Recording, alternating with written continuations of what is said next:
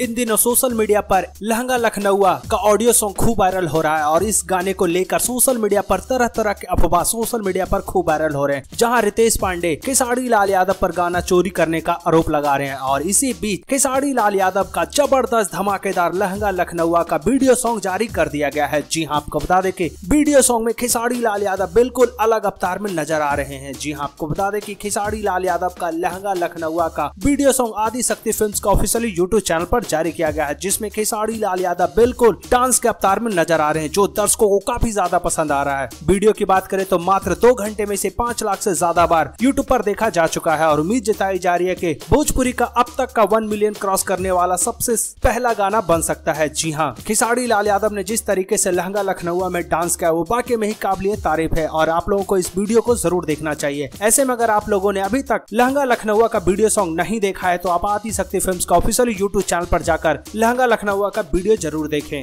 और जिन लोगों ने वीडियो सॉन्ग देख लिया है, वो हमें कमेंट करके ज़रूर बताएँ कि आपको खिसाड़ी लाल यादव का लहंगा लखनऊ का वीडियो सॉन्ग कैसा लग रहा है। वैसे आपको बता दें कि खिसाड़ी लाल यादव के साथ इस गाने को गाया है अंतरा सिंह प्रियंका ने। जी हाँ खिसाड़ी लाल यादव और अंतरा सिंह के कई सारे ड्यूट गाने हैं, लेकिन ये गाना उनमें से सबसे उमदा है। और इन दिनों लखनऊ लहंगा लखनऊ की चर्चा यूट्यूब पर बड़े ही ज़ोर शोर से हो रही है। फाइनली वीडियो सॉन्ग आने के बाद एक बार फिर से इस वीडियो की चर्चा बड़े ही ज़ोर शोर से हो रही है।